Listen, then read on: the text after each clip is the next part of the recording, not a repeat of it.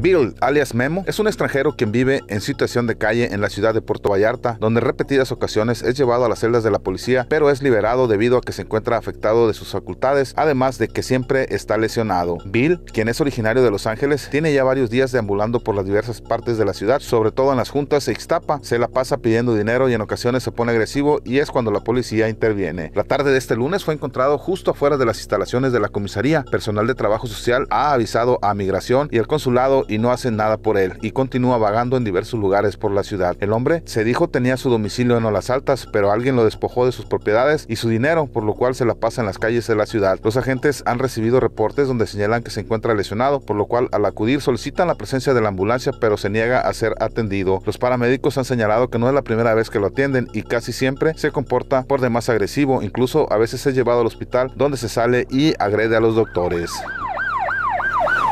Una jovencita vecina de la colonia Idipe en Ixtapa resultó con lesiones al caer desde el tercer piso, es decir, a unos 6 metros de altura cuando se encontraba en su domicilio. Se dio a conocer que nadie pudo decir qué fue lo que sucedió para que la menor cayera al vacío, pero personal de la Policía Municipal y de Bomberos llegaron para auxiliarla y posteriormente llevarla a recibir atención médica en un hospital. Este hecho ocurrió durante la noche de este domingo en la colonia Idipe de Ixtapa, donde la menor estaba tirada en el piso y vecinos señalaron que solo escucharon un grito y luego un fuerte golpe parecido a la caída de un bulto. Al salir, encontraron a la jovencita de 14 años tirada y ensangrentada, por lo que dieron aviso al 911 para que llegaran a brindarle los primeros auxilios. Finalmente fue trasladada a recibir atención médica acompañada de su madre. Para CPS Noticias, Guadalupe Arce.